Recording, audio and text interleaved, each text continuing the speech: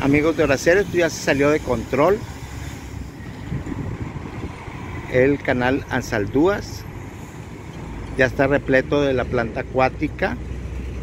Habrá que retirarla en algún momento. Sí. Está a la altura de la avenida Tiburcio Garza con Hidalgo. Reportó para ustedes José Luis Montemayor de Oración.